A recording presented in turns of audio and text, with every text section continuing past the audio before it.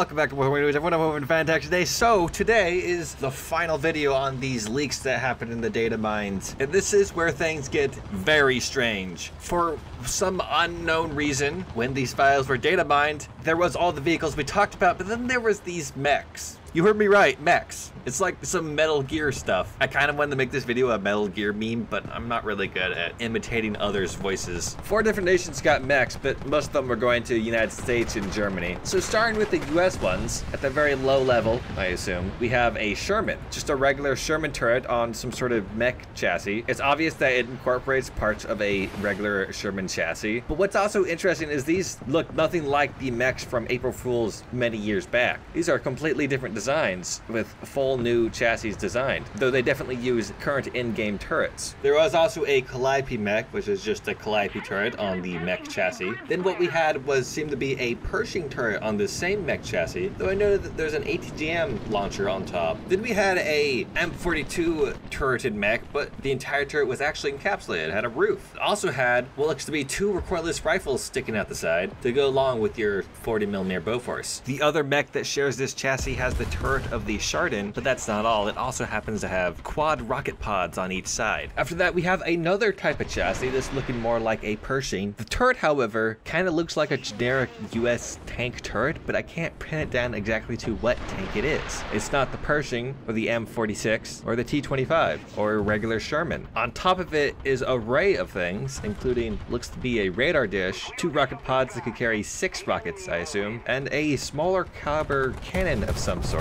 The final mech for the United States I titled M60 or something, as that's what I thought it could be based off, but looking at the M60 and looking at this thing, there's quite a bit difference. This thing has a main turret with what looks like two main cannons, a regular main cannon and like a 40 year 40 millimeter coaxial, 40 millimeter coaxial cannon, and then two miniguns mounted on the sides. The chassis looks not particularly like any tank that I could figure out. The driver patch is to the side, but any tank past the Pershings don't seem to have the driver to the side except for the XF1. And the oddest part is that there are jet engines all over it. However, this one here I think is probably not the prime example, but it's quite obvious that there's things clipping through. You can see what looks like a Pershing mantlet poking through the turret of the thing. It does not look like it had been professionally modeled together, more of they just slap assets together. A lot of people are speculating this to be for the next April Fool's event to happen sometime in 2022. Literally 2022. That's like so weird. We're in the future, man. And it kind of sucks, honestly. But from sources I can't share with you, I never got the impression that they put this much foresight into April Fool's. It always seemed to be a thing that they did in just a few months, not almost an entire year of preparation. Now, that's not to say that these won't pop up in April Fool's. That's entirely a possibility, and actually something that a lot of people would love to see. But I wouldn't be surprised this is the last that we ever see these things. And I'll expand on that point in a bit. But first, Germany had received also a large number of these mechs. And oh man, am I not really sure where to start with these? Okay, let's try with, first off, a Tiger H1 looking mech, or is it more of a Tiger E? Kind of expect what you think a Tiger would look like if it was a bipedal robot. Then we have the same configuration, but the turret has been replaced with a Tiger 2H turret. Then we have a Panther F turret on a different chassis, which is actually quite standard, no additional weapons attached to it. Next over we have the same chassis, but this has a Panzer IV turret on it, as well as a large rocket pod on the cupola. The next one was kind of funny, it was a Panzer III that did not skip leg day. It also has a rocket pod, but also some sort of smaller caliber cannon, well, at least I assume it's smaller caliber. They both look like they're the same caliber.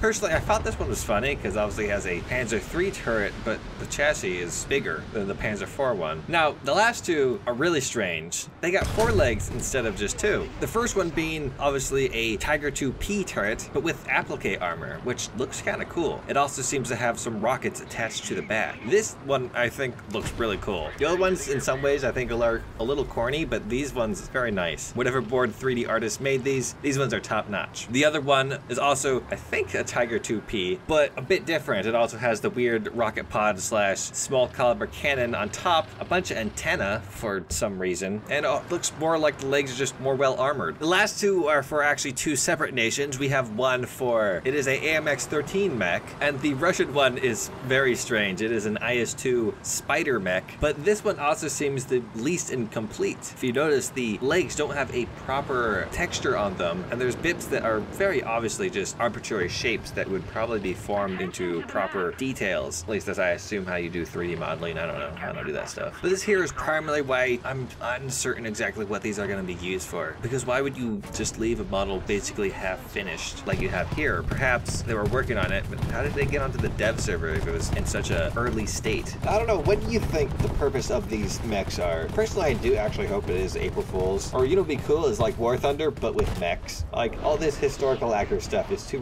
Let's get a little crazy and fantasy-like. Of course, that would be only appropriate in a whole different game. They should make like big robots in Fallout. I've been watching too many Fallout videos lately. All right, so this video has been put on hiatus for like a day or two because I had to go drive for 10 hours. Let's talk about some of the other things that were found in this little leak. We actually found some maps for new ground maps. First, there was Flat Fulda, Krymsk V2, which I think is just actually the old version of the map. You guys should bring that back so I can do some more spawn camping. And then there was a new one, North Port, which is apparently a ground map. Looks a bit like our current port map, but different. Then there was some naval ones, African Gulf, England Shore, Far East, which might also be an old one, Norway Fjords, I don't know how to pronounce that word, Leningrad, which is another ground map, but much less detailed, Pacific, River, which is an air map, I guess repurposed for naval, Siegfried Line, which would be actually a kind of cool map, and then Siegfried Line 2, which is probably the same map, but maybe for aircraft. You can't really judge if a map will be good or not based off the top-down view for your mini-map. Knowing that Gaijin can only make bad maps, I'm going to assume that they all suck anyways. Beyond that, I don't really have anything else to add to this subject. And this video is later than I had hoped. So I want to first give a thank you to all of you, every single person on the planet, but primarily my patrons, YouTube members, and Twitch subs. Thank you very much, guys. If you want to join them, because they get videos a little bit early, I post them on my Discord and the YouTube community post system. For those who donate five or more dollars a month, thank you very much once again. You know, this is kind of completely random, but I feel like making videos unrelated to War Thunder. I know zero of you will watch them, but I have a feeling my life might get a little chaotic in the future, so I might have a little fun with this. Anyways, comments, concerns, or questions, you know what to do. If you don't, uh, that's kind of odd. In the terms of bonus news, why don't you go research some bit